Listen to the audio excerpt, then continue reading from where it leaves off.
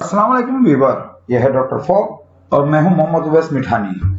आज हम इस वीडियो में कुछ ऐसी एक्सेल की ट्रिक्स लेकर आए जो हर एक्सेल के यूज़र्स को लाजमी आनी चाहिए और ये ट्रिक्स हर एक को इस काबिल बनाती हैं कि वो जैसे कोई एक्सपर्ट किस्म के काम करने वाले लोग हैं। तो आइए इन ट्रिक्स पे एक एक करके डिस्कस करते हैं। सबसे पहले हम डेटा सेलेक्ट करते हैं, या वो फ़ाइल ले लेते हैं जिसमें डेटा मौजूद है। ये मेरे पास फ़ाइल है, यहाँ पे हम ट्रिक्स यूज़ करेंगे। तो सबसे पहले हम आते हैं मेन्यूज पर। अगर आप एक्सेल के मेन्यूज को देखें तो हमें यहाँ पे एक लिस्ट यहाँ पे मिल रही है। कुछ टूल्स यहाँ पे मिल रहे हैं होम में, कुछ इंसर्ट में है। इसी तरह पेज लेआउट में, इसी तरह फॉर्मूला में, इस तरह डेटा में, इस तरह रिव्यू में व्यू में डेवलपर में हेल्प में।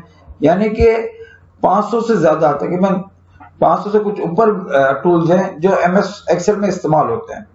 तो क्या हम कुछ टूल्स ऐसे होते हैं?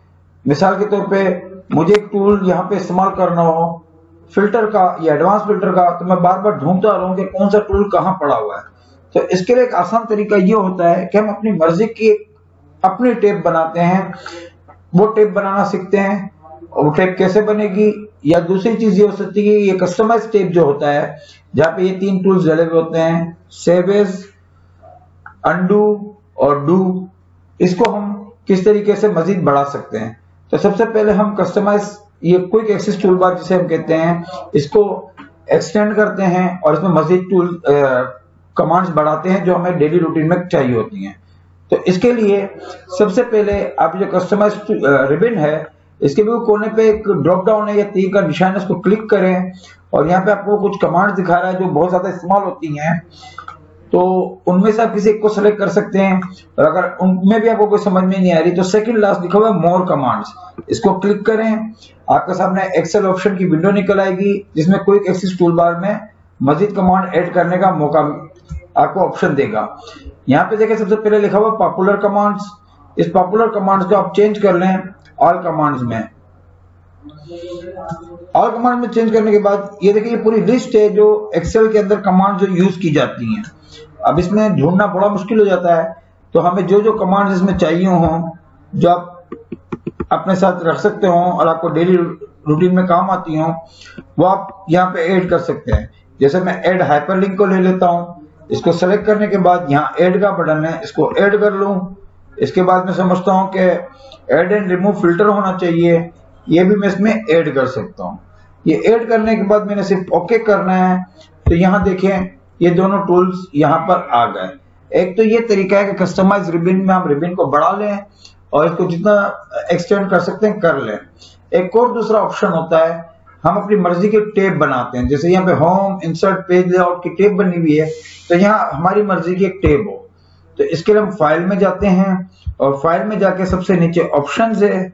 इस ऑप्शन में जाके हम वही काम करते हैं कि कस्टमाइज रिबिन में जाते हैं। कस्टमाइज रिबिन में हम जब जाते हैं तो हम फिर से एक काम करेंगे कि ऑल कमांड्स को ले लेंगे। आल कमांड्स को लेने के बाद तो इसमें मजीद हम कोई नई कमांड बनाने के लिए या नई रिबिन सॉरी नई रिबिन अपनी मर्ज़ी की टेप बनाने के लिए हम यहाँ पे देखिए एक चीज़ लिखी हुई न्यू टेप इस न्यू टेप को हम क्लिक करेंगे। क्लिक करने के बाद यहाँ पे एक न्यू टेप की बन गई है और इसमें एक न्यू ग्रुप बन गया है। अब चूँकि आप अगर एक्सेल की में जाए तो यहाँ मुख्तलिफ़ ग्रुप्स बने हुए होते हैं तो उन ग्रुप्स में हम चीज़ों को रखते हैं कि कौन से ग्रुप हैं। अभी हम ग्रुप पे बात नहीं करते, सिर्फ़ न्यू टेप पे बात करते हैं। अब यहाँ पे मैं कुछ कमांड उसमें ऐड कर देता हूँ। मैं मिसाल के तौर पे भी थ्री के ही ले लेता हूँ और इस ग्रुप में इनको ऐड कर देता हूँ। ये मैंने इसमें ऐड कर दी, ये भी मैंने इसमें ऐड कर दी थ्री मॉड्यूल भी इसमें ऐड कर दिया थ्री ऑप्शंस भी ऐड कर दिए थ्री रोटेशन भी ऐड कर दिया और थ्री रोटेशन ऑप्शन भी ऐड कर दिया। ये सारी कमांड मैंने इसमें ऐड कर दी हैं और इस ग्रुप का नाम मैं चेंज करके रीनेम करके इसका नाम रख देता हूँ। मेरे नाम से मिठानी। ओके कर देता हूँ और इसको ओके कर दूँगा। तो यहाँ पे आप देखेंगे कि मिठानी नाम का एक टेप बन गया है, जिसमें आपके तमाम ऑप्शन जो आपने सेलेक्ट किए थे, वो इसमें ऐड हो गए। इस तरह चाहे तो आप अपनी मर्ज़ी से एक न्यू टेप बना लें, या चाहे तो कोई किसी टूल बार में अपनी मर्ज़ी की कमांड्स रखें जो आपको डेली रूटीन में ज़रूरत पड़ती है। तो व्यूवर अब हम दूसरे ऑप्शन पे जाते हैं या दूसरे ट्रिक पे जाते हैं कि अगर हमारे पास एक डेटा हो और उसमें बीच में से कुछ सेल्स डिलीट हो, गायब हो सॉरी कुछ कुछ सेल्स का डेटा मिसिंग हो और उन सेल्स को हमें डिलीट करना हो तो हम इसके लिए क्या करें? मिसाल के तौर पर ये हमारे पास डेटा है इस डेटा में मैंने कुछ सेल्स में से डेटा डिलीट कर दिया है। यहाँ पे आठ नंबर था, उसको डिलीट कर दिया है। इधर दस नंबर डिलीट कर दिया है। इस तरह सो ऑन बहुत सारी नीचे लाइंस हैं, जो बीच में से डिलीट है। यहाँ का डेटा नहीं है, वो ब्लैंक सेल है। तो इन ब्लैंक सेल की पूरी पूरी रोज को कैसे डिलीट किया जाए? इसके लिए बड़ी प्रॉब्लम होती है, या तो एक एक लाइन में जाके किया जाए, या फिर इसका कोई ऑप्शन हो। तो इसका एक आसान तरीका है कि आप सबसे पहले अपने डेटा पे फ़िल्टर लगा लें। फ़िल्टर लगाने के बाद जब इसमें फ़िल्टर लग जाए तो जिस सेल में आपका डेटा मौजूद नहीं है और आप उन रोज को डिलीट करना चाहते हैं, उन सेल उस पर फ़िल्टर पे जाएँ और इसके सबसे निचले ऑप्शन, यानी कि ब्लैंक सेल को सेलेक्ट कर लें। यहाँ सेलेक्ट वाले से मैं चेक हटा देता हूँ और सबसे नीचे वाले ऑप्शन, ब्लैंक्स को क्लिक कर देता हूँ। इस क्लिक करने के बाद, अब मेरे पास फ़िल्टर करने के बाद ये वो सेल रह गए हैं जिन पे नंबर्स नहीं लिखे हुए, या मैं ये चाह रहा हूँ कि ये रोज बीच में से मैं डिलीट करूँ।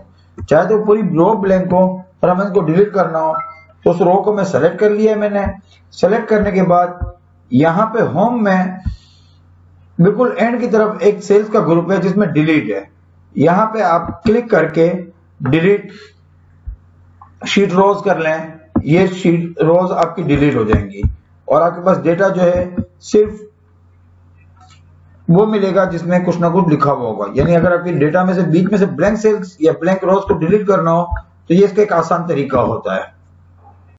वीवर अब हम तीसरी ट्रिक पे जाते हैं कि ये हमारे पास एक बहुत बड़ा डेटा है जिसमें पचास हज़ार एंट्रीज हैं। अब पचास हज़ार एंट्री में अगर हमें ये करना हो कि हमें नेविगेशन करनी हो, यानी एक जगह से दूसरी जगह जाना हो डेटा के अंदर रहते हुए तो वो किस तरह करें? मिसाल के तौर पे मैं इस वक्त सेल की ए वन पे खड़ा हूँ। सबसे पहले सेल पे खड़ा हूँ। और मुझे आखिरी इस्तेमाल किए हुए सेल पे जाना है। तो इसके लिए आसान तरीका ये है कि कंट्रोल का बटन दबा के डाउन एरो की दबाएँ तो आप सबसे निचले सेल पे चले जाएँगे। इसी तरह आप कंट्रोल के साथ राइट एरो की दबाएँ तो आप आखिरी इस्तेमाल किए हुए सेल में आ जाएँगे। इसी तरह कंट्रोल के साथ आप अपर एरो की दबाएँगे तो आप बिल्कुल पहले सेल पे चले जाएँगे। और लेफ़्ट के साथ आप बिल्कुल ही फ़र्स्ट जो आपका डेटा का पहला सेल है, इस तरह हम नेविगेशन करते हैं। इसके साथ साथ अगर आप चाहें कि मुझे सिर्फ़ नेविगेशन नेविगेशन नहीं करनी, बल्कि पूरा डेटा सेलेक्ट करना है तो कंट्रोल के साथ शिफ्ट दबाएँ और फिर डाउन एरो की दबाएँ तो सिलेक्शन हो जाएगी। अब मैं राइट एरो की दबा रहा हूँ तो पूरा डेटा मेरा सेलेक्ट हो रहा है।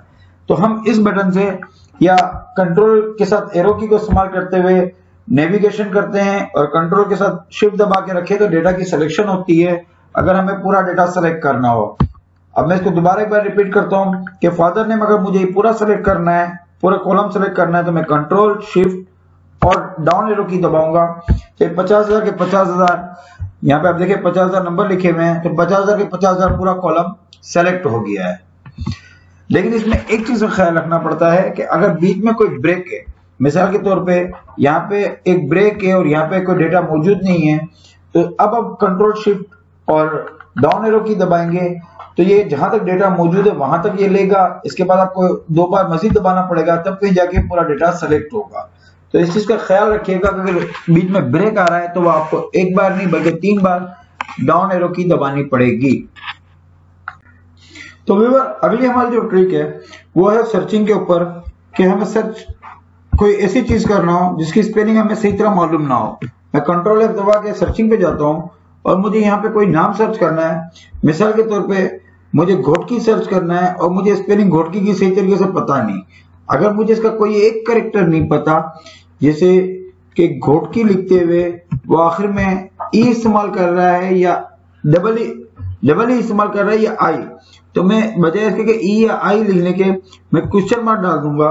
इस क्वेश्चन मार्क का मतलब ये होता है कि वो कोई एक करेक्टर मजीद इसमें ऐड करके ढूंढ के दे हमें कि क्या, कहाँ है वो। तो मैं सर्च करता हूँ एक घोटकी आ गया। अगेन सर्च कर रहा हूँ तो अगेन घोटकी आ गया। यानी कि वो आई की जगह क्वेश्चन मार्क की जगह आई को ढूंढ रहा है। तो ये क्वेश्चन मार्क सर्च करने का मकसद ये होता है कि किसी एक करेक्टर को ढूंढना। लेकिन अगर हमें ज़्यादा करेक्टर ना पता हो, जैसे नेक्स्ट है हमारे पास कंध और आगे इसके कोड लिखा हुआ है और मुझे कोड की स्पेलिंग नहीं आती तो मैं स्टेरिक डाल दूँगा। तो स्टेरिक का मकसद ये होता है कि एक से ज़्यादा करेक्टर्स हैं जो कि इससे आगे लिखे हुए हैं। तो वो सर्च करके दे तो ये देखिए कंद कोड मुझे ढूंढ के दिया। अगेन सर्च करो तो अगेन कंद कोड ढूंढ के दे रहा है। अगेन कंद कोड ढूंढ के दे रहा है। यानी कि वो स्टेरिक की जगह के ओ टी कोट ले रहा है। लेकिन प्रॉब्लम ये आती है कि अगर हमें सिर्फ़ ढूंढना है स्टेरिक क्वेश्चन मार्क के तो हम इसको किस तरह ढूंढें? अगर मैं क्वेश्चन मार्क को ढूँढने जाता हूँ तो मैं जब भी देखूँगा वो ढूंढ के नहीं दे सकेगा, बल्कि मुझे डेटा के दरमियान घुमाता रहेगा। या अगर मैं स्टेरिक ढूंढना चाहूँ तो स्टेरिक में भी ये मुझे यही परेशानी करेगा कि वो ढूंढ के नहीं देगा। तो अगर हमें क्वेश्चन मार्क ही ढूंढना हो तो हम क्या करें? तो इस सिचुएशन में हम ये करते हैं तो कि एक बटन होता है टिल्ड टिल्ड को लिखते हैं और इसके साथ हम क्वेश्चन मार्क लगा दें तो हमें ढूंढ के दे देगा कि ये कहाँ पर मौजूद है। क्योंकि मेरे पूरे डेटा में कहीं भी मौजूद नहीं है इसमें वो मना कर रहा है, ये कहीं भी नहीं है। इस तरह स्टेरिक लगाते दें तो ये तब भी मौजूद, यही बोलेगा कि मौजूद नहीं है मेरे डेटा में। तो अगर मुझे, मैं कहीं लिख के इसको सर्च करते हैं, मिसाल के तौर पे मैं यहाँ पे क्वेश्चन मार्क डाल देता हूँ, और यहाँ पे एक स्टेरिक डाल देता हूँ अगेन एक क्वेश्चन मार्क डाल देता हूँ, और किसी एंड में जाके अब हम इसको यहाँ पे ढूंढते हैं। कंट्रोल एफ़ करके मैं इस पे गया हूँ, और मैं स्टेरिक को ढूँढने के लिए सबसे पहले टिल्ड दबाया है और इसके बाद स्टेरिक का निशान दिया है। अब मैं इसको सर्च करता हूँ तो ये मुझे बता रहा है कि यहाँ पे स्टेरिक है। और इसकी जगह मैं अगर क्वेश्चन मार्क लिख दूँ और उसको सर्च करना चाहूँ तो वो ढूंढ देगा तो हम लोगों को ये पता नहीं होता कि हम एक्चुअल क्वेश्चन मार्क को और स्टेरिक को किस तरह ढूंढे। तो ये वो तरीका है जिस तरह हम ये वाइल्ड कार्ड एंट्री को भी सर्च कर सकते हैं। विवर जो नेक्स्ट ट्रिक है हमारी, वो है डेटा को ट्रांसपोज करना। डेटा को ट्रांसपोज करने में एक्सेल में दो ऑप्शन होते हैं। या तो आप थ्रू कॉपी और पेस्ट करके इसको ट्रांसपोज करें। दूसरा ऑप्शन ये होता है कि आप फार्मूले के थ्रू ट्रांसपोज करें। कॉपी पेस्ट में ट्रांसपोज करने में डेटा टोटली ट्रांसपोज हो जाता है, लेकिन उसका पिछले डेटा से कोई लिंक नहीं रहता। जबकि फार्मूले के ज़रिए ट्रांसपोज करने में उसमें एक लिंक भी रहता है कि अगर आपने पिछले डेटा में कोई तब्दीली की तो नए डेटा में भी जहाँ ट्रांसपोज होकर डेटा रखा गया होगा, वहाँ भी तब्दीली आ जाती है। यहाँ पे हम सिर्फ़ ट्रिक पे बात कर रहे हैं तो उसमें हम कॉपी पेस्ट के ज़रिए ट्रांसपोज करना सीखेंगे। और चूँकि डेटा बहुत बड़ा है तो उसका कुछ हिस्सा मैं सेलेक्ट कर लेता हूँ। जैसे मैं इसकी थर्टी लाइन्स लेता हूँ, और इस डेटा को मैं ट्रांसपोज करता हूँ। ट्रांसपोज करने के लिए मैं इसको कॉपी कर रहा हूँ कंट्रोल सी और एक नई शीट में जाके मैं यहाँ पे राइट क्लिक करूँगा। तो यहाँ पे दो दो तरीके हैं। अगर आप 2007 चला रहे हैं तो यहाँ पे पेस स्पेशल लिखा होता है, उसको क्लिक करें। और इस जगह पे ट्रांसपोज है, उसको क्लिक करें। और फिर आप ओके दबा दें, आपका डेटा ट्रांसपोज हो जाएगा। और अगर आप 2007 से लेटेस्ट वर्जन देख रहे हैं या कोई नया वर्जन पे काम कर रहे हैं तो आप सिर्फ़ राइट क्लिक करें और यहाँ पे जो कुछ ऑप्शंस बने हुए हैं, इसमें देखें चौथे नंबर पे ट्रांसपोज का ऑप्शन है।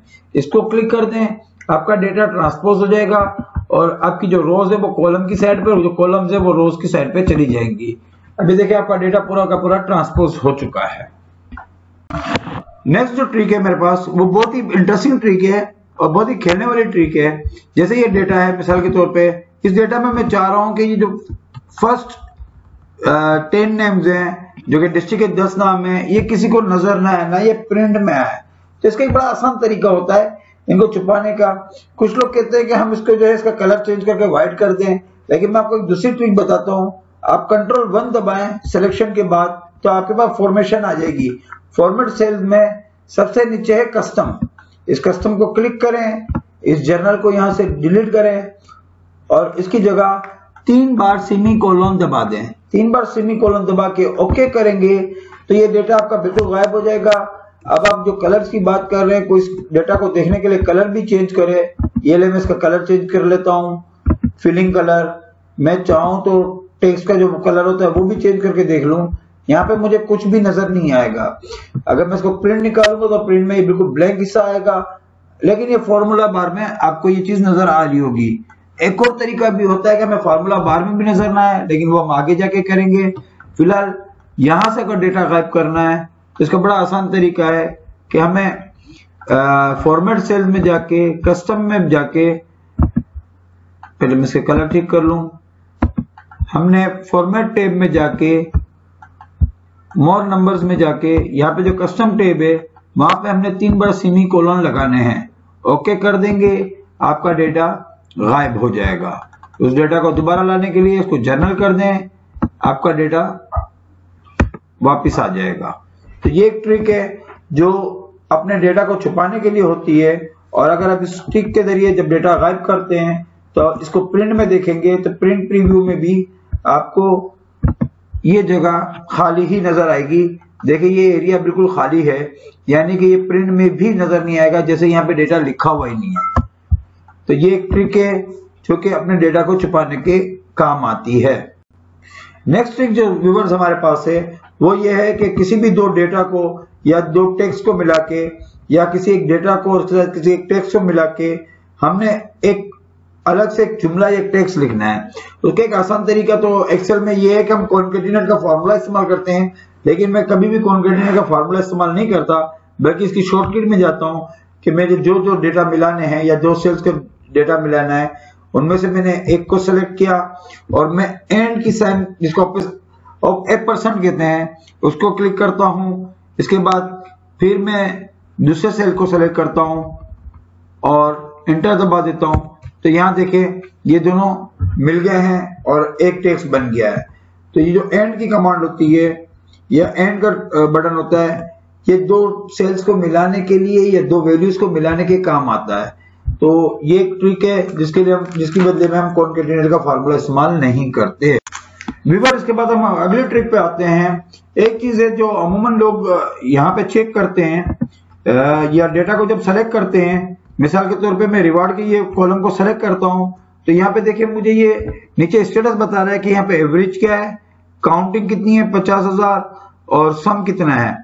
यहाँ पे तीन ऑप्शन वो दे रहा है, या तीन मुझे मेन चीज़ें बता रहा है। मैं अगर इसके अलावा मुख्तलिफ़ कुछ और चीज़ें मालूम करना चाहता हूँ या इनको चेंज करना चाहता हूँ। यहाँ पे मैं राइट क्लिक करता हूँ तो यहाँ पे पूरी मुझे स्क्रीन नज़र आ जाती है कि मैं यहाँ पे क्या क्या कर सकता हूँ। मैं मालूम कर सकता हूँ इसमें मैक्सिमम नंबर कितना था मिनिमम कितना था, जिसके लिए मुझे फॉर्मूला इस्तेमाल करने पड़ते हैं। नोमेरिकल काउंटिंग कितनी है यहाँ पे?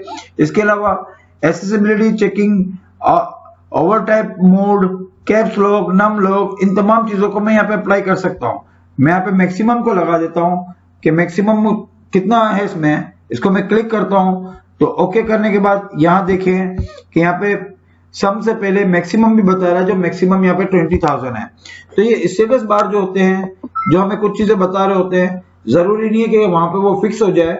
आप अपनी मर्ज़ी से भी बहुत सारी चीज़ें यहाँ पे लगा के मालूम कर सकते हैं बिगर फॉर्मूले के यहाँ पे एक्चुअली काउंटिंग या उसकी टोटल क्या हो रही है।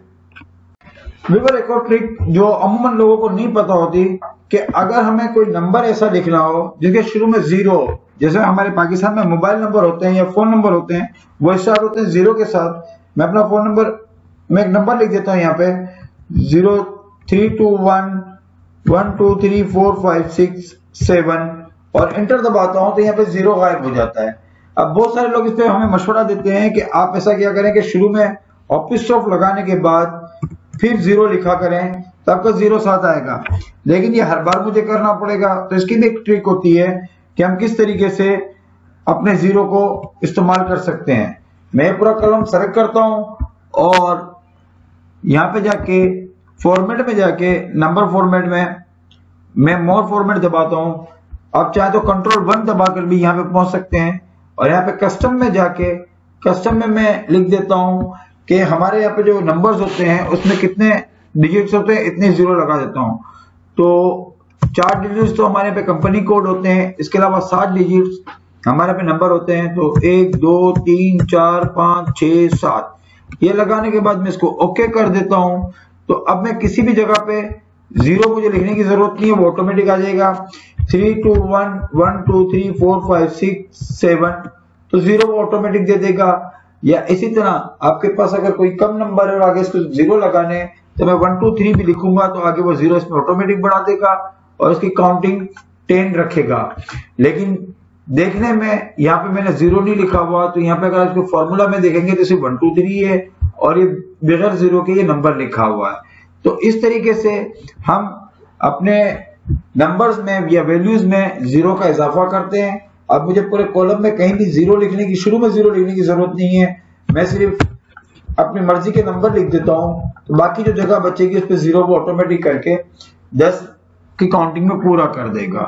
दूसरा फ़र्क ये भी होता है कि जब हम अगर ज़ीरो से स्टार्ट करके ऑफ़िस स्टॉप लगा के करते हैं तो उसको टैक्स कंसिडर करता है, इसलिए उसकी काउंटिंग उसको ना तो काउंट करता है, ना इसका सम करता है। लेकिन ये करने से हमें ये फ़ायदा होता है कि हम इसका सम और काउंटिंग दोनों का इस्तेमाल कर सकते हैं। तो अगर मैं इसका सम करना चाहूँ तो इसका सम भी हो सकता है, और मैं इसका काउंटिंग करना चाहूँ तो ये काउंटिंग भी हो सकती है।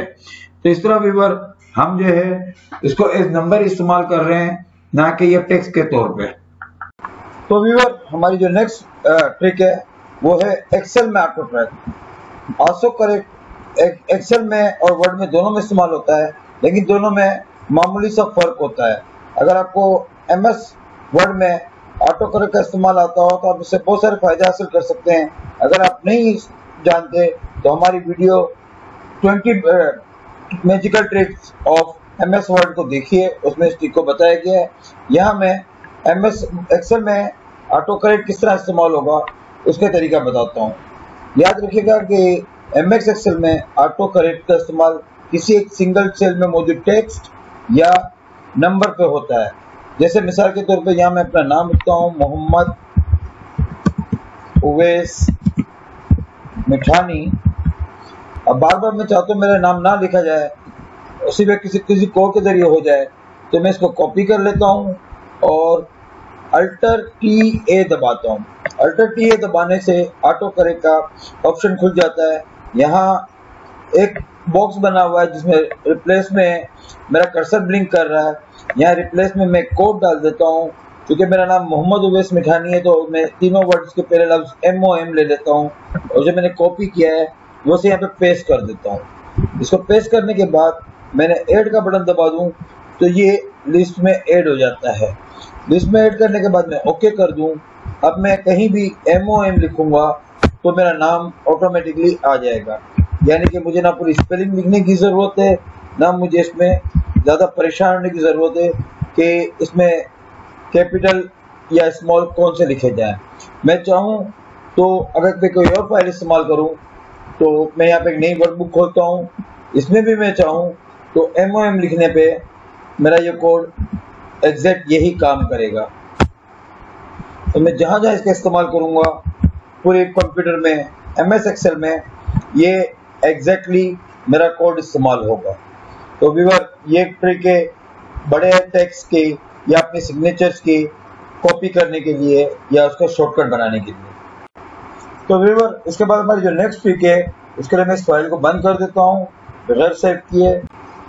और अपनी पुरानी फ़ाइल पर आके मैं जो एक्स्ट्रा डेटा है, जो मैंने पिछली ट्रिक में आपको समझाया था, उसको डिलीट कर देता हूँ। और इस फ़र्स्ट लाइन में फ़र्स्ट कॉलम में जो स्पेशल फॉर्मेशन लगी हुई है, इसको जनरल कर देता हूँ। तो ट्रिक मेरी ये है, मैं आपको ये बताना चाह रहा हूँ कि अमूमन लोग फार्मूला बनाते वक्त एक काम करते हैं कि वो पहले सेल पे फार्मूला लिखते हैं मिसाल के तौर पे मैं एक ऑपरेटर यहाँ पे लिखता हूँ। This one multiply by ten ये लिखने के बाद फिर इसको नीचे तक ड्रैग करते हैं। जहाँ तक अब ये मैं खींचता चला जाऊँ तो इसमें मुझे बहुत टाइम लगेगी पचास हज़ार सेल में इसको कॉपी करने के लिए। तो इसके लिए जो दूसरा तरीका होता है, मैं इसको कंट्रोल जेड करके डिलीट करता हूँ कि अगर आपका कंटिन्यूस में सेल हो सिर्फ़ इस कोने पे, जहाँ पे आपने सेल सेलेक्ट किया हुआ जहाँ फार्मूला आपका इस्तेमाल हुआ है, इसके कोने पे एक चौकोर सा निशान आ रहा है। मैं डेटा को बड़ा करके दिखाता हूँ। यहाँ पे देखिए, कोने पे एक स्क्वायर बना हुआ है। यहाँ पे माउस को लेकर आएँगे तो माउस प्लस का निशान बन जाएगा।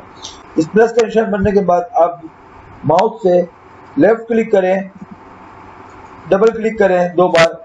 दो बार क्लिक करें या डबल क्लिक करें तो आपके तमाम एडजॉइंट सेल्स में फार्मूला अप्लाई हो जाता है। लेकिन अगर आपको तमाम में भी अपना फार्मूला अप्लाई नहीं करना बल्कि चंद मखसूस सेल्स में अप्लाई करना है मिसाल के तौर पे आप चाह रहे हैं कि आपका फार्मूला जो है वो सिर्फ़ इन दस सेल्स में अप्लाई हो और फ़ौरन हो जाए तो उसके लिए एक आसान तरीका ये है कि हम तो, उन सेल्स की रेंज को सेलेक्ट करते हैं और फार्मूला इस्तेमाल करते हैं। This one multiply by ten वही फॉर्मूला मैंने इस्तेमाल किया। उसको लिखने के बाद इंटर दबाने के बजाय कंट्रोल का बटन दबाएँ और फिर इंटर दबाएँ। अब आप देखेंगे कि आपके जितने सेल्स आपने सेलेक्ट किए थे, वहाँ पे ये फॉर्मूला आपका अप्लाई हो गया है।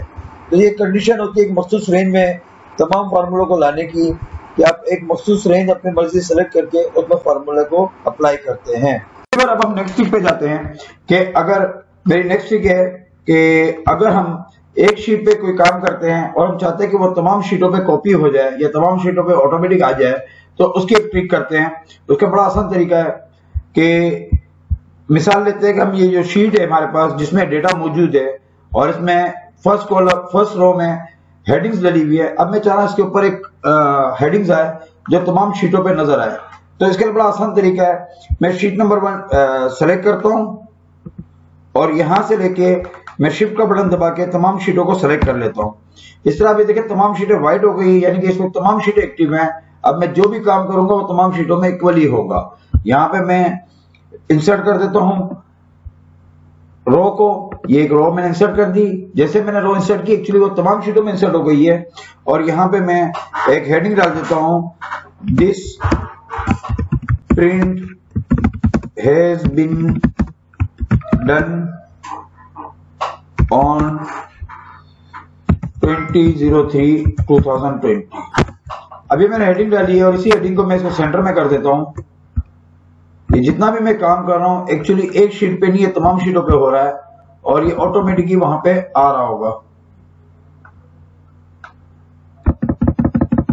अभी मैंने हेडिंग बना दी है, अब मैं दूसरी शीट को सेलेक्ट करता हूँ। ये हेडिंग यहाँ भी मौजूद है नेक्स्ट शीट पे यहाँ भी मौजूद है। नेक्स्ट शीट पे जाए तो यहाँ भी मौजूद है। यानी कि तमाम शीटों पे ये हेडिंग्स ऑटोमेटिक आ गई हैं। और जो फॉर्मेट मैंने एक पे सेलेक्ट किया था, वो तमाम फॉर्मेट पे चला गया है। तो अगर हमें मल्टीपल शीट्स पे काम करना हो, या एक से ज़्यादा शीट्स पे एक ही जैसा काम करना हो तो इसके लिए हम ये करते हैं कि तमाम शीटों को सेलेक्ट करके उस पर एक साथ काम करते हैं। अब बार अब नेक्स्ट शीट पे जाते हैं कि जब हम प्रिंट लेने जाते हैं, मिसाल के तौर पर मैं इस फ़ाइल की प्रिंट लेने जाऊँ जिसमें पचास हज़ार एंट्रीज हैं, इसके मैं प्रिंट पे जाऊँ तो मुझे एक प्रॉब्लम बहुत बड़ी ये आती है कि इस प्रिंट में पहले पेज पे तो मुझे हेडिंग नज़र आ रही है, फिर मैं आगे जाता हूँ तो ये पता ही नहीं कि डेटा में है क्या। जब हेडिंग्स ही नज़र नहीं आएँगे तो जिसके लिए आपने प्रिंट निकाले हैं उनको या तो पहला पेज अपने सामने रखना पड़ेगा, या वो आपको आपकी इस प्रिंटिंग को पूरा रिजेक्ट कर देगा कि जनाब इसमें कुछ पता तो चल ही नहीं रहा। तो हम किस तरह करें कि हमारे हर पेज पे हेडिंग आए? तो इसका एक बहुत आसान सा तरीका है कि होम से हटके हम ये पेज लेआउट में आते हैं। इस पेज लेआउट में एक ऑप्शन दिया हुआ है प्रिंट टाइटल प्रिंट टाइटल को आप क्लिक करें, आपके सामने प्रिंट पेज सेटअप की विंडो निकल आएगी. यहाँ पे देखें सेकंड नंबर पे लिखा हुआ है rows to repeat at top जो रोज आप रिपीट करना चाह रहे हैं हर पेज पे, उसको आप क्लिक कर लें. ये मैंने दोनों रोज क्लिक कर ली, क्योंकि दो पेज की दो लाइंस की हेडिंग है. इसको अब मैं इसका प्रिंट प्रीव्यू देखूँ. तो यहाँ पे आप देखेंगे कि ये हेडिंग पहली लाइन पे आ रही है, दूसरी लाइन पे भी आ रही है, तीसरी लाइन पे भी आ रही है.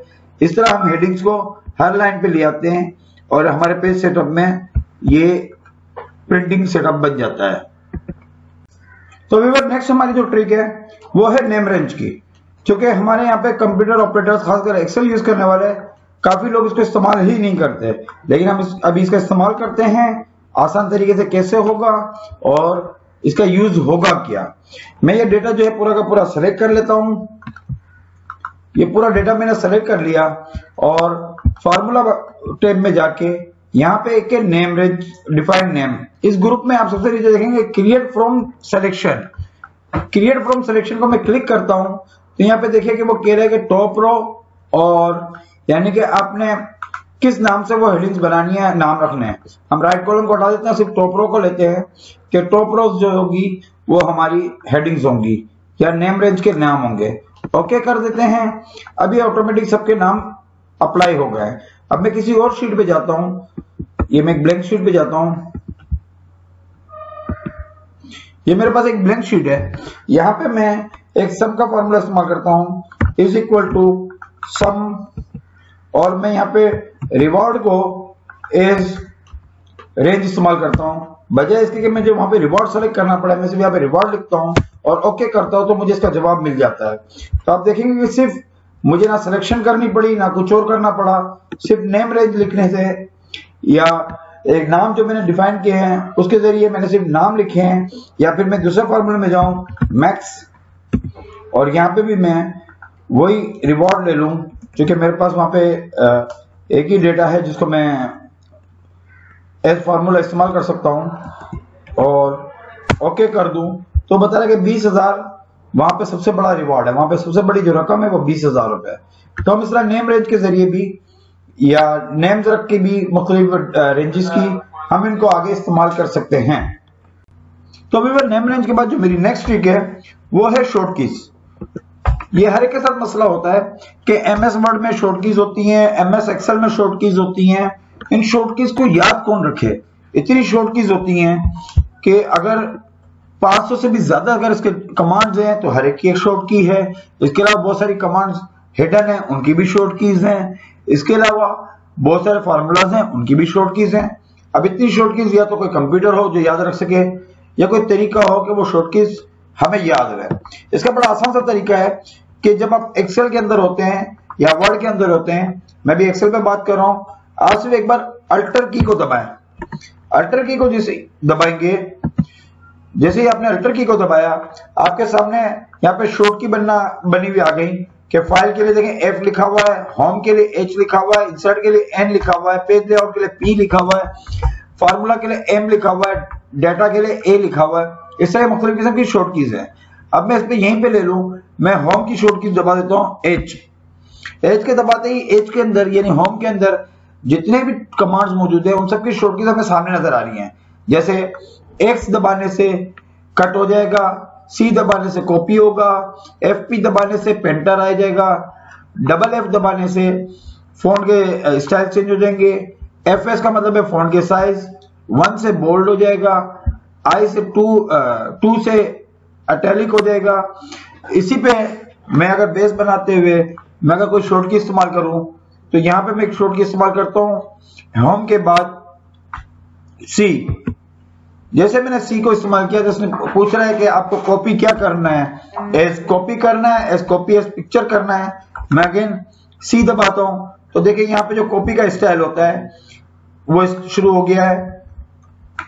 और इसका मतलब है सेल को कॉपी में ले गए अभी इस डेटा को, क्योंकि मैंने एक ब्लैंक सेल चूज़ किया था, इस डेटा को दोबारा ट्राई करते हैं। किसको कॉपी कैसे करें?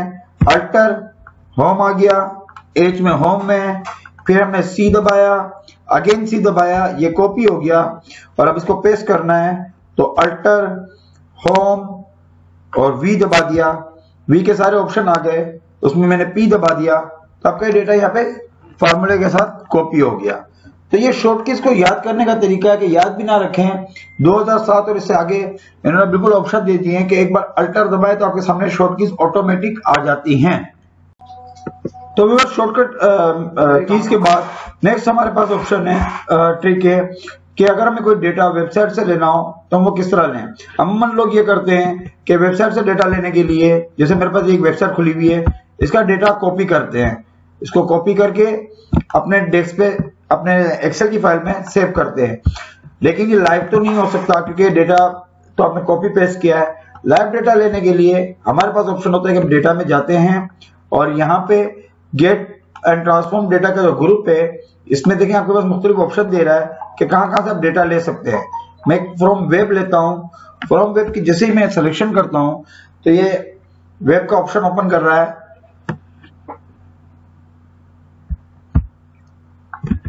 और जब तक ये वेब का ऑप्शन सेलेक्ट करता है, मैं इस वेबसाइट को कॉपी कर लेता हूँ एड्रेस को।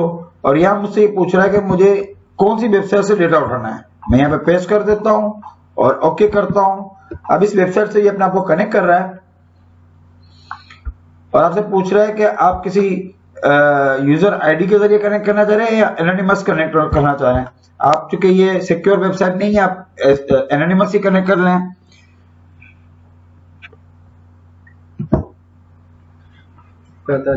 अब ये कनेक्टिंग कर रही है आपकी वेबसाइट यहाँ पे देखिए कनेक्शन हो रहा है। इसकी टाइमिंग डिपेंड करता है कि आपकी नेट स्पीड कितनी है।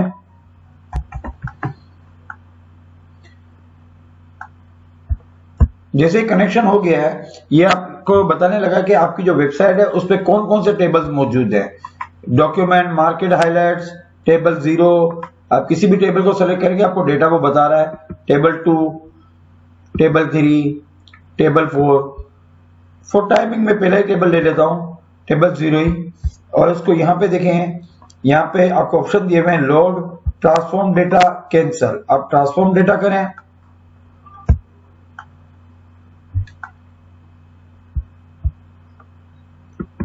ट्रांसफॉर्म डेटा जैसे ही आपने किया है, ये आपको एक एक्सेल पे एक्सेल की एक शीट बना के दिखा रहा है कि ये आपको इस तरह दिखेगा। आप इसको क्लोज एंड लोड कर ले। जैसे आपने क्लोज एंड लोड किया है, ये आपकी इस एक्सेल की फ़ाइल में आ जाएगा।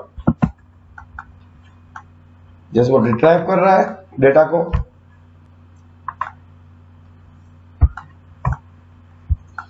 और ये डेटा आपके यहाँ पे आ गया है। यहाँ पे आप देखेंगे कि यहाँ पे इसकी डिटेल्स दे रहा है कनेक्शन दे रहा है, और ये आपको यहाँ पे ऑप्शन भी देगा कि इसके डिज़ाइन आप कैसा रखना चाहते हैं, इसकी क्वायरी कैसे करना चाहते हैं इवन आप इसको रिफ्रेशमेंट टाइमिंग क्या देना चाहते हैं। जब भी आप इसको रिफ्रेश करेंगे, ये डेटा ऑटोमेटिक रिफ्रेश होगा। और आपकी जो करंट पोजीशन होगी, वो आपके एमएस ऑफ़िस में या एम एस एक्सएल में ऑटोमेटिक आ जाएगी। तो वो हमें जो नेक्स्ट ट्रिक है वेब के कनेक्शन के बाद, वो ये है कि हमें कोई कॉलम या इंसर्ट करनी है या कोई कॉलम डिलीट करना है। मिसाल के तौर पे यहाँ पे ए से लेकर एफ़ तक कॉलम बने हुए हैं, जिसमें script price high low change volume के कॉलम्स हैं। हम इस कॉलम में चेंज के बराबर में हम एक और कॉलम का इजाफा करना चाहते हैं, या एक कॉलम इंसर्ट करना चाहते हैं तो सबसे पहले हमें जिस कॉलम को ऐड करना है, या जिस कॉलम के लेफ़्ट साइड पर हमें ऐड करना है, उस कॉलम को सेलेक्ट करेंगे। तो सेलेक्ट करने का जो सबसे आसान तरी, तरीका है, वो ये है कि आप कंट्रोल का बटन दबाएँ और स्पेस दबा दें। स्पेस दबाने से आपका ये कॉलम देखे सेलेक्ट हो गया। इसके बाद आप सिर्फ़ दोबारा कंट्रोल दबाएँ और प्लस का निशान दबाएँ तो आपका सिलेक्शन हो जाती है। लेकिन अगर आप डिलीट करना चाहें तो कंट्रोल के साथ माइनस दबा दे तो डिलीट हो जाएगा। इसी को दोबारा कंट्रोल के साथ माइनस दबाओ तो ये भी डिलीट हो जाएगा। तो सिलेक्शन के लिए हम कंट्रोल के साथ स्पेस दबाते हैं और ऐड करने के लिए हम कंट्रोल के साथ प्लस दबाते हैं और डिलीट करने के लिए कंट्रोल के साथ माइनस दबा देते हैं। तो व्यूवर कॉलम के इंसर्ट या डिलीट करने के अलावा हमें बाजों का प्रॉब्लम आती है कि हमें कोई रो ऐड करनी होती है, कोई रो डिलीट करनी होती है। तो उसकी सिलेक्शन कैसे हो और उसको किस तरीके से हम इंसर्ट या डिलीट करेंगे? तो कॉलम को ऐड करने के लिए, कॉलम को सेलेक्ट करने के लिए हमने कंट्रोल के साथ स्पेस दबाया था। रॉ की सिलेक्शन के लिए हम शिफ्ट के साथ स्पेस दबाएँगे। शिफ्ट के साथ स्पेस दबाने से हमारी पूरी रो सेलेक्ट हो जाती है। अब दोबारा कंट्रोल के साथ प्लस करें एडिशन हो गई और कंट्रोल के साथ माइनस का बटन दबाएँगे तो डिलीट हो जाएगा। दोबारा माइनस बटन दबा दें डिलीट हो गया। दोबारा प्लेस कर दें। तो यहाँ पे सिलेक्शन के लिए हमें जो है, बड़ा सिंपल सा है कि हमें शिफ्ट के साथ स्पेस दबाना है। हमारी रो सेलेक्ट हो जाएगी और प्लस करने से एडिशन और माइनस कंट्रोल के साथ करने से डिलीट हो जाएगी। तो व्यूवर नेक्स्ट हमारी जो ट्रिक है, वो कॉन्केटिनेट से रिलेटेड है कि जब हम कॉन्केटिनेट कर रहे होते हैं तो अमूमन क्या होता है कि मैंने एक लफ्ज जो है कॉन्केट करना है और मैं चाह रहा हूँ कि इसको, नाम को कॉन्केट करूँ फादर के नेम के साथ। तो ये कॉन्केट तो हो जाता है, लेकिन मुझे प्रॉब्लम यहाँ पर ये आ रही है कि मैं चाह रहा हूँ कि बाप का नाम इन्वर्टेड कॉमा में आए। तो इन्वर्टेड कोमा के लिए क्या करें हम? इसके लिए कुछ लोग मुझे कुछ लोग ये मशवरा देंगे कि मैं इन्वर्टेड कॉमा के अंदर ही इन्वर्टेड कॉमा लिखूं तो इस तरीके से ये हो सकता है। या फिर मैं इन्वर्टेड कॉमा के दरमियान स्पेस दबा दूँ।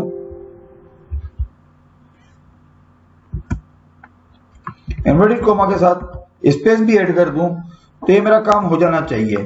लेकिन इस तरह होता नहीं है। ये कभी भी आपके इन्वर्टेड कोमास यहाँ पे इस्तेमाल नहीं होंगे। आपको इन्वर्टेड कोमा इस्तेमाल करने के लिए एक नए ऑप्शन पे जाना पड़ता है कि अगर आप चाह रहे हैं कि आपके किसी एक नाम के इर्द इन्वर्टेड कोमा बने तो इसका आसान तरीका ये होता है कि आप इसके लिए फॉर्मूला इस्तेमाल करते हैं जिसको हम कहते हैं चार। चार्ट जब स्टार्ट करते हैं तो चार्ट में आपसे नंबर पूछ रहा होता है तो इन्वर्टेड कोमा के लिए नंबर हमारे इस्तेमाल होते हैं थर्टी फोर चार थर्टी फोर इन्वर्टेड करें और जिसको इन्वर्टेड कोमा में लिखना है, उसके बाद भी आप चार थर्टी फोर लिख लें तो आपके नाम के दोनों तरफ़ इन्वर्टेड कोमा का इस्तेमाल हो जाएगा। जैसे यहाँ देखिए, अबू तलाब के बाद जो सलमान है, वो इन्वर्टेड कोमा में लिखा गया है। तो चार थर्टी फोर का इस्तेमाल क्या करें, जब हम कौन कंटिनेंट में बताते खुद इन्वर्टेड कोमा का इस्तेमाल करना चाह रहे हो या डबल कोट का इस्तेमाल करना चाह रहे हो। तो डबल कोट के बाद अब हम आते हैं फ्लैश फ़ील्ड फ्लैश फ़ील्ड एक बहुत ही टेक्निकल तरीका है जो लेटेस्ट वर्जन में एमएस ऑफ़िस में इस्तेमाल हुआ है कि जब हम एक ट्रैक पे चल रहे होते हैं तो एक्सेल खुद ही डिसाइड कर लेता है कि हम किस कोऑर्डिनेशन में चल रहे हैं या किस तरीके से फॉर्मेशन पे जा रहे हैं, उसके मुताबिक वो नीचे डेटा बना लेता है। मिसाल के तौर पे यहाँ पे मैं देखूँ तो यहाँ पे कराची और ईस्ट है। अगर मैं दोनों के एब्रीवेशन पहले पे ले लूँ, इसका पहला वाला के ले लूँ, कराची का के ले लूँ और डिस्ट्रिक्ट का ई ले लूँ, यानी इसको के ई कर लूँ, और इसके नीचे लाड़काना का एल और जगावत का जे ले लूँ तो आप देखेंगे कि खुद ही खुद इसको बनाना शुरू कर देगा। यहाँ पे मैं लिख लूँ कराची का के और ई इसे उसने लड़काना का एल और जे तो यहाँ देखे इसने नीचे ऑटोमेटिक सारे बना दिए, मैं इंटर दबा दूँगा तो ये सबको फिल कर देगा, और फ्लैश फिल कहते हैं इसको कि इसके जितने भी इन दो कॉलम में कैपिटल वर्ड नज़र आए कैपिटल लेटर नज़र आए उनको ऐसे फ्लैश फिल इसने भर दिया है। और इस तरीके से ये एक आपकी ऑटोमेटिक फिलिंग होती है। आप चाहे तो इसी तरह फार्मूला को भी इस्तेमाल कर सकते हैं। तो जब आप एक बार एक फार्मूला इस्तेमाल करते हैं तो वो ऑटोमेटिक नीचे इसको फिल कर देता है। और अगर बिलफर्स इसको ये नीचे फिल नहीं भी करता, मिसाल के तौर पर मैं इसको डिलीट कर देता हूँ और मजीद में इसको फ्लैश फिल चाहता हूँ तो इसका एक आसान तरीका है कि कंट्रोल का बटन दबा के ई दबा दें तो ये दोबारा फ्लैश फिल कर देता है। यानी अगर आप फार्मूला का इस्तेमाल कर रहे हैं और वो फ्लैश फिल नहीं कर रहा है तो दो कॉलम पे, दो सेल पे फार्मूला लगाने के बाद आप नीचे फ्लैश फिल करेंगे तो आपकी कॉम्बिनेशन को उठाता हुआ नीचे फिल कर देगा। तो व्यूअर फ्लैश फिल के बाद हमारी जो नेक्स्ट ट्रिक है, वो है पेस स्पेशल में ऑपरेटर्स का इस्तेमाल। मिसाल के तौर पे आपके पास ये जो रिवार्ड की रकमें हैं, इनमें आपसे कहा जाता है कि सबके वन थाउज़ेंड रुपीज़ एड कर दें या इन सबको वन थाउज़ेंड प्लस कर दें तो आपने सिंपल सा ये करना है कि एक जगह पे वन थाउज़ेंड लिखने हैं ठीक है? इसको कंट्रोल सी के ज़रिए कॉपी करना है और डेटा सारा सेलेक्ट कर लें। सेलेक्ट करने के बाद आपने इस डेटा के अंदर राइट क्लिक करना है और यहाँ पे है पेस्ट स्पेशल पेस्ट स्पेशल को क्लिक करके यहाँ पे ऑपरेटर्स में ऑपरेशन में लिखे हुए एड सब्सट्रैक्ट मल्टीप्लाई डिवाइड हम चूँकि एड करना चाहते हैं, इसको एड कर दें। आप पहली रकम को याद रखिएगा, चौदह हज़ार सौ रुपए हैं और ओके कर देंगे। तो देखिए, तमाम रकमें जो हैं, वो वन थाउज़ेंड प्लस हो गई। तो इस तरह हम चाहें तो इसमें हम एडिशन भी कर सकते हैं पूरे डेटा में, और चाहें तो इसमें से माइनस मल्टीप्लाई या डिवीज़न भी कर सकते हैं। जब हमें किसी एक रकम से तमाम वैल्यूज़ को चेंज करना हो तो हम इसके लिए पेस्ट स्पेशल के ऑपरेटर्स इस्तेमाल करते हैं। फ्लैश फिल के बाद हमारी जो नेक्स्ट ट्रिक है, वो है ऑटो सम ऑटो सम के तीन ऑप्शन होते हैं। या सम करने के तीन तरीके होते हैं। मैं आसान तरीन तरीके पे जाता हूँ, या तीनों एक एक करके डिस्कस करते हैं कि हम ये सबसे नीचे गए डेटा के और नीचे जाके यहाँ पे हमें सम करना है टोटल वैल्यूज़ का। बहुत से लोग सम करने के लिए यूँ करते हैं कि इसके लिए फार्मूला इस्तेमाल करते हैं सम और फिर वैल्यू की सिलेक्शन करते हैं। ये तो एक तरीका हो जाता है सम करने का, जिससे आपका जवाब आ जाता है। दूसरा तरीका होता है कि यहाँ पे वो ऑटो सम के बटन को क्लिक कर देते हैं और इंटर दबा देते हैं। तो आपका सम आ जाता है। तीसरा, इससे भी आसान तरीका होता है कि हम सिर्फ़ अल्टर के साथ, अल्टर का बटन दबा के इक्वल की साइन दबाएँगे तो हमारा सम का फॉर्मूला ऑटोमेटिक यहाँ पे इंसर्ट हो जाता है। और इसको फिर इंटर कर दें तो आपका जवाब सम का मिल जाता है। तो सम के लिए बड़े सिंपल सा तरीका है कि अल्टर का बटन दबा के इक्वल की साइन प्रेस कर दिया करें। ऑटोसम के बाद हमारे पास जो नेक्स्ट ट्रिक है, वो बहुत इंटरेस्टिंग है और काफ़ी लोगों को उसके बारे में कुछ पता नहीं होता कि अगर हमें, मिसाल के तौर पे ये एक एरिया है, जहाँ पे हमें कहा गया कि हमें सिर्फ़ इतने हिस्से में काम करना है, यानी हमारा डेटा इतने एरिया में आएगा तो हम इस एरिया में काम करते हुए ऐसा क्या करें कि हमारी नेविगेशन भी इस तरह हो। मिसाल के तौर पे मैंने एक एरिया ये सेलेक्ट किया हुआ है और मुझे क्या किया कि कॉलम पाँच से लेके रो नंबर पाँच से लेके नंबर दस में और चार कॉलम में आपका डेटा होना चाहिए। तो मैं जब इसको लिखने जाता हूँ तो मैं यहाँ पे लिखने जाता हूँ one two three four five six इसके बाद मुझे फिर ऊपर जाना पड़ेगा और यहाँ पे मुझे दूसरा डेटा डालना पड़ेगा। तो इससे बेहतर तरीका ये होता है कि बजाय हम इस तरीके से इसको इस्तेमाल करें, हम इस डेटा को, जो हमारी रेंज है डेटा रेंज उस डेटा रेंज को हम पहले सेलेक्ट कर लेते हैं और फिर इसको लिखना शुरू करते हैं। मिसाल के तौर पर मैं इसमें लिखूं one two three four five six जैसे मैंने इसको लिखा तो नेक्स्ट आप देखें कि ये ऑटोमेटिक रेंज के अंदर दूसरे कॉलम के सेल नंबर वन पे चले गया जहाँ पे मैं ओवेस लिखना चाह रहा था। नेक्स्ट में इधर मिठानी लिख देता हूँ। नेक्स्ट में इधर काशिफ लिख देता हूँ। और इस तरह मैं सोन आगे लिखता जाता हूँ। दानियाल, रिजवान, फहीम, और इसके बाद मैं नेक्स्ट जब इंटर दबाऊँगा तो मेरा नेक्स्ट थर्ड कॉलम पे ऑटोमेटिक आ जाएगा। इस तरह हमें होता है कि एक रेंज के अंदर ही हम काम कर रहे होते हैं और उस रेंज से बाहर नहीं निकल पाते। यानी कि हमें दोबारा फिर जो या हम कर्सर के ज़रिए या कीबोर्ड के ज़रिए मूव नहीं करना होता, बल्कि ऑटोमेटिकली हम रेंज के अंदर ही काम करते हैं। तो व्यूवर हमारी आखिरी और 25 ट्रिक जो है, वो है सेविंग के बारे में। कि हम जब बाज़ ये होता है कि हम कंप्यूटर पे काम कर रहे होते हैं तो अचानक से किसी वजह से कंप्यूटर बंद हो जाता है और हमारी फ़ाइल सेव नहीं हो पाती। तो इसमें आपको दो किस्म की फाइलें मिलती हैं। एक फ़ाइल वो जो बिल्कुल ही न्यू होती है, यानी कि सेव इससे पहले कभी नहीं हुई होती तो उसकी रिकवरी कैसे करें? तो जैसे ही आप एक्सेल की फ़ाइल खोलेंगे, यहाँ पे आप फ़ाइल के ऑप्शन में जाएँ और यहाँ पे इन्फो में जाने के बाद 2016 और उसके बाद के ऑप्शंस में ये दिया हुआ है कि मैनेज वर्कबुक दी हुई है। मैनेज वर्कबुक को जब आप क्लिक करते हैं तो आपसे पूछता है कि रिकवर अनसेव्ड वर्कबुक्स यानी ऐसी वर्कबुक्स जो अभी तक आपने सेव नहीं की हैं। तो यहाँ पे आपको एक टेम्परेरी फोल्डर खोल देता है, जिसमें आपके पास अनसेव वर्कबुक पड़ी होती है, जिन्हें आपने ओपन तो किया था, इस पर काम तो किया था, लेकिन सेव किए बगैर बंद कर दी थी उसको। अनसेव्ड इसको क्लोज कर दी थी। एक तो इस तरह की फ़ाइल आपको यहाँ से मिल जाती है क्योंकि मेरे फोल्डर में ऐसी कोई फ़ाइल मौजूद नहीं है, इसलिए इसको तो कैंसिल करते हैं। दूसरा ऑप्शन होता है कि आपकी पहले से फ़ाइल की सेव की भी फ़ाइल होती है और वो अचानक आपका कंप्यूटर बंद हो जाए तो दोबारा जब आप खोलते हैं तो आपके एक्सेल पे किनारे पे यहाँ पे लेफ़्ट साइड पे पैन खुलता है जिसमें उन फाइलों के बारे में बताया हुआ होता है। कि उनमें से अगर आप किसी फ़ाइल को रिकवर करना चाहें तो रिकवर कर सकते हैं। तो उसकी रिकवरी का जो टाइमिंग होती है वो आपको सेलेक्ट करनी पड़ती है।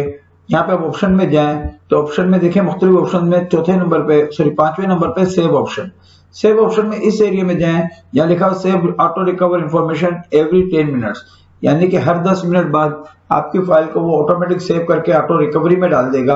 आप चाहें तो इसका टाइम फाइव मिनट कर दें, कि हर पाँच मिनट बाद इसको ऑटोमेटिक रिकवर कर दें। तो इससे ये फ़ायदा होगा कि अगर आपने गलती से फ़ाइल बंद कर दी है तो जब आप दोबारा खोलेंगे तो आपको ऑटो रिकवरी में पाँच मिनट पहले तक जो काम किया हुआ है, उसकी सेविंग दिखा देगा। आप अगर इसको दस मिनट रखेंगे तो हर दस मिनट बाद इसको ऑटो सेव करता रहेगा। और अगर आपने मिस्टेकली इसको बंद कर दिया है तो आपको रिकवरी में दस मिनट पहले तक का काम मिल जाएगा। तो यहाँ पे आप सेव ऑटो रिकवर के ज़रिए, जो कि एक्सेल ऑप्शन में सेव के ऑप्शन में है, वहाँ पे आप टाइमिंग सेट कर सकते हैं कि कितनी देर बाद वो आपकी फ़ाइल को ऑटोमेटिक सेव करता रहे। ताकि आपको लेटेस्ट काम मिल, मिल जाए। तो व्यूवर ये हमारी कुछ 25 ट्रिक्स थी जो हमारे ख्याल से किसी भी एक्सेल के यूज़र को लाजमी आनी चाहिए।